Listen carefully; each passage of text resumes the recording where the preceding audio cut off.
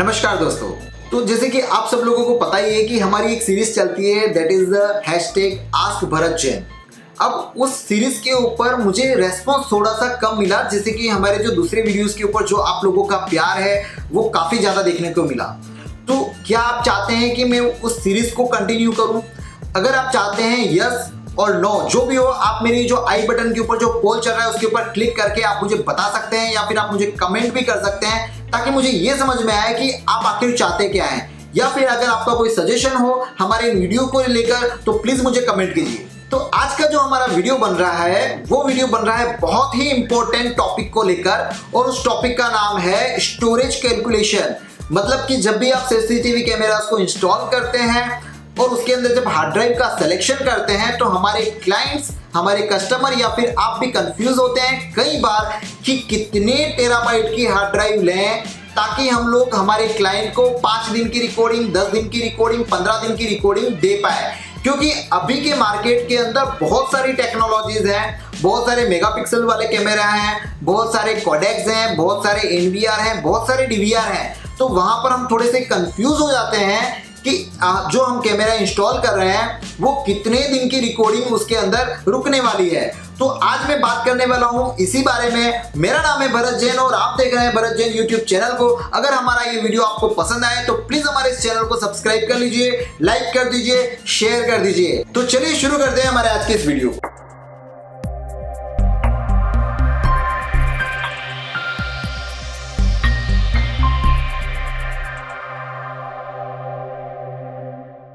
किसी भी hard drive का कैलकुलेशन करने के लिए, उस स्टोरेज को कैलकुलेट करने के लिए हमें कुछ चीज़ों को समझना बहुत ज़रूरी है कि ये जो स्टोरेज है, वो किस तरह, उसके ऊपर कौन से फैक्टर काम करते हैं? कि वो कितने टेराबाइट कितने जीबी का स्पेस एक कैमरा आपका ले रहा है हार्ड ड्राइव के अंदर। तो उसके अंदर बहुत सारे फैक्टर है एक एक करके उस फैक्टर को समझते हैं। सबसे पहला फैक्टर आता है आपका डीवीआर या फिर एनवीआर वो जो डीवीआर और वो जो एनवीआर है, वो कौन से कॉडेक्ट पे काम कर रहा है? मतलब उसका कॉम्प्रेशन कौन सा है? H dot two six four है या फिर एच टू सिक्स फाइव है? दूसरा यहाँ पर मेजर करता है कि आप जो कैमरा यूज़ कर रहे हैं, वो कैमरा कितने मेगापिक्सल का है? वो वन मेगापिक्सल है टू मेगापिक्सल है एनालॉग है या फिर क्या है? तीसरी चीज़ यहाँ पर वरी करती है, वो होता है फ्रेम रेट कि आप जो कैमरा जो आप, आप जब भी आप इनकोड की एक सेटिंग करते हैं तो वहाँ पर आप देख रहे होंगे कि आप कौन से कॉम्प्रेशन पे उस कैमरे को रिकॉर्ड कर रहे हैं। मतलब कि आप D1 कॉम्प्रेशन पे है H dot two six four के कॉम्प्रेशन पे है या फिर सेवन ट्वेंटी पी के कॉम्प्रेशन पे है। उसके बाद में जो दूसरा ऑप्शन आता है वो फ्रेम रेट का आता है। बाय डिफ़ॉल्ट 25 फ्रेम रेट है 30 फ्रेम रेट है 15 फ्रेम रेट है या 12 फ्रेम रेट है। तो फ्रेम रेट यहाँ पर बहुत ही एक इंपॉर्टेंट रोल प्ले करती है जब भी आप कैमरे की स्टोरेज को कैलकुलेट करते हैं। क्योंकि आपको ये तो पता ही होगा कि फ्रेम रेट होती क्या है।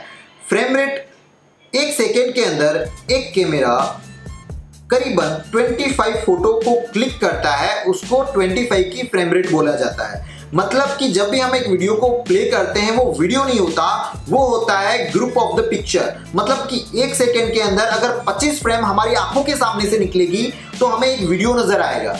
अब उसको हम, हमारी ज़रूरत के मुताबिक हम कम या फिर ज़्यादा कर सकते हैं। लगता है कि यहाँ पर बहुत ही नॉर्मल है तो वहाँ पर 15 की फ्रेम रेट कर दोगे तो ऑब्वियसली वो हमारे स्टोरेज के ऊपर इफ़ेक्ट करेगा। आगे की चीज़ आती है कि ऑडियो क्या आप उस कैमरे के साथ में ऑडियो को रिकॉर्ड कर रहे हैं? और इसके बाद में आता है बिट रेट कि आपने उसकी बिट रेट क्या सेट की हुई है। तो ये कुछ कॉमन फैक्टर हैं मोटा मोटी जिसको बोल सकते हैं कि ये सबसे बड़ा इम्पैक्ट करते हैं। और एक और चीज़ इम्पैक्ट करती है, वो होता है जब भी आपने जिस लोकेशन पे कैमरे को इंस्टॉल किया है, उस कैमरे के सामने मूवमेंट कितना है। जितना ज़्यादा मूवमेंट होगा, वो कैमरा उतना स्टोरेज ज़्यादा कंज्यूम करेगा दूसरे कैमरे के मुताबिक। तो ये जो कुछ फैक्टर हैं, जो कि इफ़ेक्ट करते हैं हमारे वीडियो के स्टोरेज के ऊपर। अब हम बात करते हैं कि इस चीज़ को कैलकुलेट कैसे करें? क्योंकि हम जब भी क्लाइंट के सामने बैठे हैं, हम उनसे बात करते हैं तो वो डायरेक्टली हमसे पूछते हैं कि इसमें कितने दिन की रिकॉर्डिंग होने वाली है। और वहाँ पर हमें एक सटीक उत्तर देना होता है। एक सटीक आंसर होना चाहिए कि भाई आपके अगर आप वन टेराबाइट की हार्ड ड्राइव ले रहे हैं तो पाँच दिन की रिकॉर्डिंग है, सात दिन की रिकॉर्डिंग है या दस दिन की रिकॉर्डिंग है। और कई बार हम बिना कैलकुलेशन के कुछ बोल देते हैं और आगे जाकर उसके अंदर डिस्प्यूट खड़ा हो जाता है कि आपने बोला था इतने दिन की रिकॉर्डिंग है और अब आ रही है इतने दिन की रिकॉर्डिंग तो यहाँ पर इस चीज़ के सॉल्यूशन के लिए आज मैं आपके सामने एक सॉफ्टवेयर को लेके आया हूँ। वैसे ये जो सॉफ्टवेयर हैं, वो जितने भी ब्रांड्स हैं, चाहे आप दावा यूज़ कर रहे हैं एकविजन यूज़ कर रहे हैं पेनासोनिक यूज़ कर रहे हैं सोनी यूज़ कर रहे हैं पेल्को है एक्सिस है, कोई भी ब्रांड है तो उसकी जो रजिस्टर्ड जो ऑफिशियल वेबसाइट है, वहाँ पर आपको डिस्क कैलकुलेटर के नाम से मिल जाएगा। हर एक कंपनी का अपना एक डिस्क कैलकुलेटर होता है। ज़्यादा वेरिएशन नहीं होता, करीबन आप समझ के चलिए, अगर आप दावा और हिकविजन को कंपेयर करते हैं तो हो सकता है टेन परसेंट का वेरिएशन उसके अंदर हो, कि ये कैमरा अगर आप कैलकुलेट कर रहे हैं इस डिस्क कैलकुलेटर के अंदर तो वो थर्टी जीबी बता रहा है, उसके अंदर थर्टी फोर जीबी बता रहा है, या फिर थर्टी टू जीबी बता रहा है, इससे ज़्यादा वेरिएशन नहीं होता। आज मैं आपको एक डिस्क कैलकुलेटर देने वाला हूँ, जो मेरे इस डिस्क्रिप्शन बॉक्स के अंदर है। उस लिंक पर आप क्लिक करके आप वो डिस्क कैलकुलेटर को डाउनलोड कर लीजिए। डाउनलोड करने के, मुझे ये डिस्क कैलकुलेटर काफ़ी अच्छा लगा, क्योंकि इसके अंदर बहुत सारे वेरिएशन है। आप किस हिसाब से आप देखना चाहते हैं, आपके पास में कितने मेगापिक्सल का कैमरा है, आपके पास में कितनी हार्ड ड्राइव है, आप दिन के हिसाब से कैलकुलेट करना चाहते हैं, या फिर आप पहले कैलकुलेट करके फिर डिज़ाइन करना चाहते हैं कि आपको कितने टेराबाइट की हार्ड ड्राइव लेनी चाहिए। तो ये बहुत सारे उसके अंदर ऑप्शन है, जो कि आपको मिल जाएँगे और आप एक अच्छा सा वीडियो को डिज़ाइन कर पाएँगे और अपने क्लाइंट के सामने बहुत अच्छे से आप बता पाएँगे कि आप उनको कितने दिन की रिकॉर्डिंग देने वाले हैं या फिर आपकी रिक्वायरमेंट के हिसाब से आपको कितने टेराबाइट की हार्ड ड्राइव को लेना चाहिए। तो ये जो है, आपने अभी जो मेरे जो डिस्क्रिप्शन के अंदर जो लिंक है, अगर आप उसको डाउनलोड करते हो, जो ड्रॉप बॉक्स है, उसमें से एक सॉफ्टवेयर है, उस सॉफ्टवेयर को जब आप इंस्टॉल कर लोगे तो आपके पास में एक ये डिस्प्ले बनेगा that is a disk calculator तो अब यहाँ पर इसको कैसे यूज़ करना है आपको कि यहाँ पर एक एड स्ट्रीमिंग दिया है कि अगर आपके पास में चार चैनल का डीवीआर है तो आप इसको एड स्ट्रीमिंग करिए और अगर आपके पास में चार का जो डीवीआर है तो आप यहाँ पर चार कैमरे इस तरह से प्लस कर लीजिए। अब यहाँ पर जो पहले दिया हुआ है, वो है यहाँ पर कि आपका कौन से नंबर का चैनल है। तो यहाँ पर आपको चैनल नंबर मतलब कैमरा नंबर वन है तो यहाँ पर वन सेलेक्ट करिए। आप कौन से कॉम्प्रेशन के ऊपर उसको रिकॉर्ड कर रहे हैं कि आपका जो डीवीआर या एनवीआर है, वो H dot two six four या टू सिक्स फाइव है? तो फॉर एग्ज़ाम्पल ज़्यादातर अभी जो लोग यूज़ कर रहे हैं, वो H dot two six four use करते हैं तो यहाँ पर आप कॉम्प्रेशन डाल दीजिए H dot two six four resolution के अंदर यहाँ पर आपको मिल जाएगा कि ये जो रिजोल्यूशन हैं, काफ़ी सारे रिजोल्यूशन है, आप कौन से रिजोल्यूशन पे आप सेट कर रहे हो? क्या वो क्यू वीजीए है सी आई एफ़ है वीजीए है डी वन है वन मेगा पिक्सल है one point three mega pixel है? तो हम आजकल ज़्यादातर 1.3 मेगापिक्सल यूज़ करते हैं, अगर आईपी कैमरे की बात करें तो। तो 1.3 मेगापिक्सल मैंने इसको सेलेक्ट किया। अब देखिए, यहाँ पर ये पूछ रहा है फ्रेम रेट कि आपको ये कैमरा जो आप करने वाले हो, कौन सी फ्रेम रेट के ऊपर इंस्टॉल करने वाले हो? तो आपने जैसे सेलेक्ट किया 25 की फ्रेम रेट पे आप उसको यूज़ करोगे। और इसके अंदर आपको ऑडियो रखना है तो आप यहाँ पर क्लिक कर दीजिए तो ये ऑडियो का ऑप्शन है। तो यहाँ पर ये क्लिक हो जाएगा तो ऑडियो का भी इसके अंदर कैलकुलेट हो जाएगा। इसी तरह से आप जो दूसरा कैमरा है आपका तो वो यहाँ पर सेकेंड नंबर का कैमरा यहाँ पर ये थर्ड नंबर का कैमरा और यहाँ पर इस तरह से आप ये फोर नंबर का कैमरा आप यहाँ पर सेलेक्ट कर लीजिए। यहाँ पर आप कॉम्प्रेशन दे दीजिए, जो भी कॉम्प्रेशन आप यूज़ करना चाहते हैं, इस तरह से आप सेलेक्ट कर लीजिए। यहाँ पर आप जो मेगापिक्सल कई बार क्या होता है कि हम एक ही डीवीआर के अंदर अलग अलग मेगापिक्सल के कैमरे भी यूज़ करते हैं तो वो आप सेलेक्ट कर लीजिए। मैं यहाँ पर फ़िलहाल 1.3 ही रख रहा हूँ, जितने भी मैं रख रहा हूँ। तो यहाँ पर ये यह मैं सब 1.3 पे ले लेता हूँ। और सबके अंदर मैं फ्रेम रेट 25 कर रहा हूँ अभी फ़िलहाल।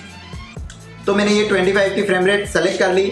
इवन आप अपनी डीवीआर की सेटिंग के अंदर जाके इन ये जो पैरामीटर है, उसको आप चेंज भी कर सकते हैं आपकी ज़रूरत के मुताबिक। और यहाँ पर ये बीट रेट है, वो बीट रेट भी आपको एनवीआर या फिर डीवीआर के अंदर आपको मिल जाएगा कि आपका जो डीवीआर है वो कौन सी बीट रेट पे उस चीज़ को रिकॉर्ड कर रहा है तो वो आप यहाँ पर उसको प्लस कर दीजिए।